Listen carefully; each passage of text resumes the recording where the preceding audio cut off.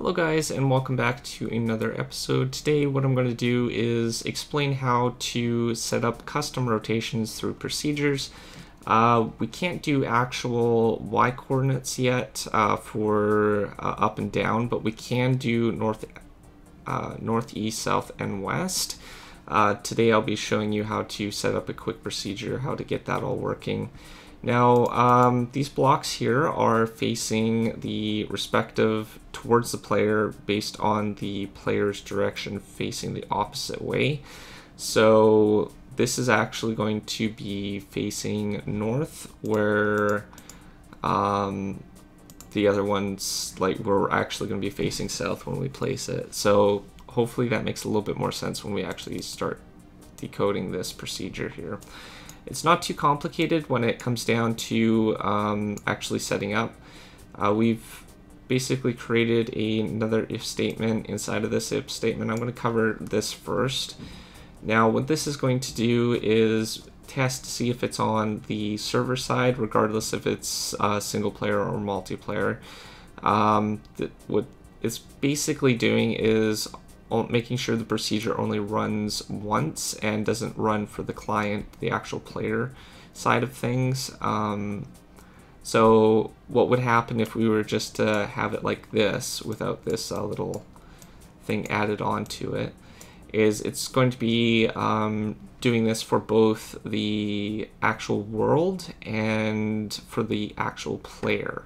So what we want to do is make sure that it's just targeting the world itself. So what we've done is we've created an if statement, and then we've gone to operate or not operators, um, logic and loops. We've added a not statement.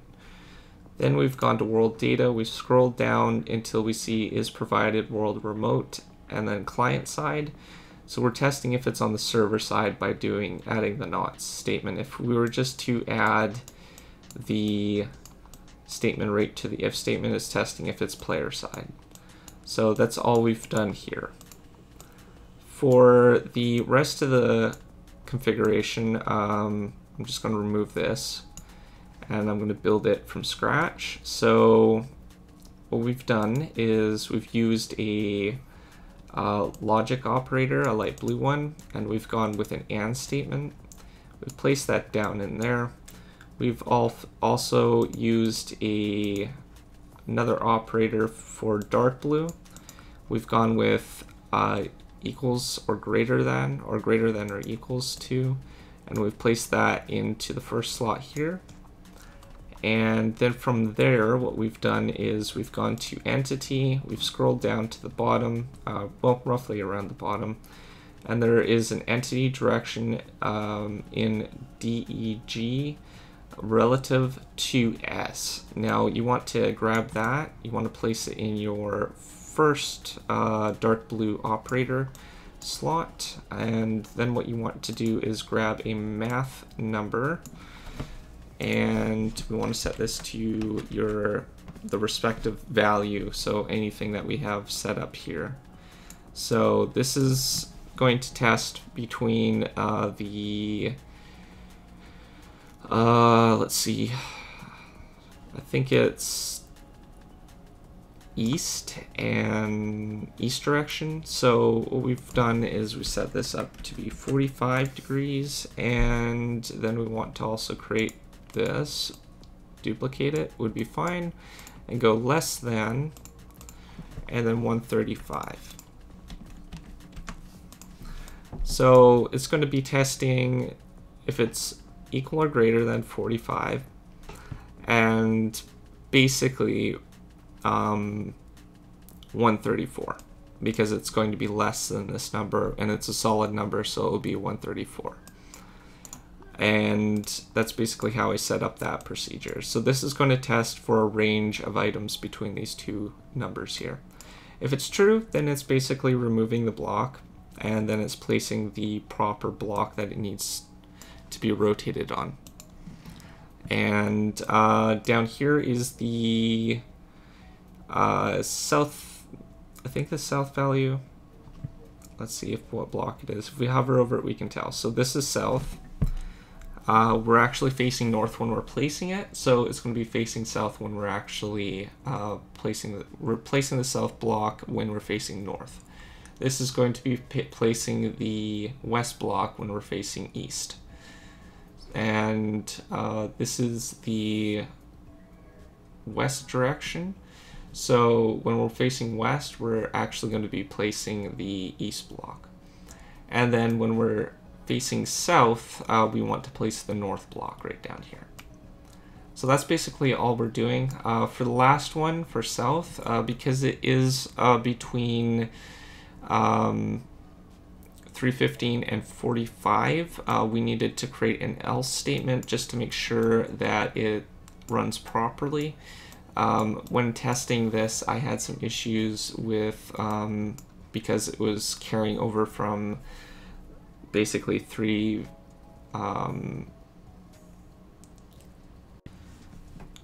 355 to uh, zero, um, what would happen is it would glitch out a little bit. So I just created an else statement uh, down below. If you're not familiar on how to set up the or configure the if statements, you can just go into the little gear icon at the top here and then just drag uh, two else else if statements and one else statement at the bottom and that will just make sure that there's no condition basically what's going on if you add an else statement is if it none of these equal out true, then it's going to do something regardless uh, if there's a procedure or not. So that's basically what we have set up here.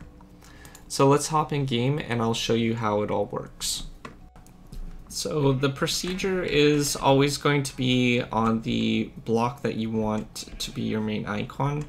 Uh, you want to disable the other directions. So in the in my instance, I have them enabled right now, the east, south, and west.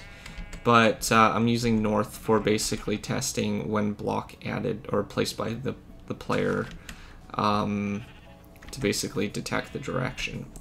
So if we stand in the middle, red indicates that we're facing north. As you can see, north is here. This is going to be east, south, and west. So if we place down the block um, the north direction, we're actually facing north right now. And if we're going a little bit a degree off, so a little bit that way, it's still going to be facing north. Um, as you can see, it's a little bit different when we're facing different directions. But overall, it's the same thing. Uh, I do have these directions mixed up though, so they're actually facing the wrong direction. Um, I'll fix that in just a second. But um, if we go and face south, then as you can see, it's placing the block south direction. So the reason why these are facing the opposite direction is because I textured the blocks wrong. Um, obviously, as you can see, it's it is placing it properly. It's just I forgot to texture the this side rather than this side. So uh, let's quickly go and fix some things up quickly.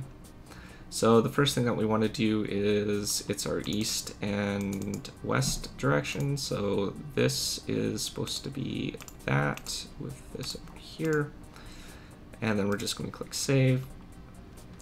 And this is our west direction, so this should be facing over here and that over here. And then we're going to click save again. And uh, for north procedure, what we want to do is go into here.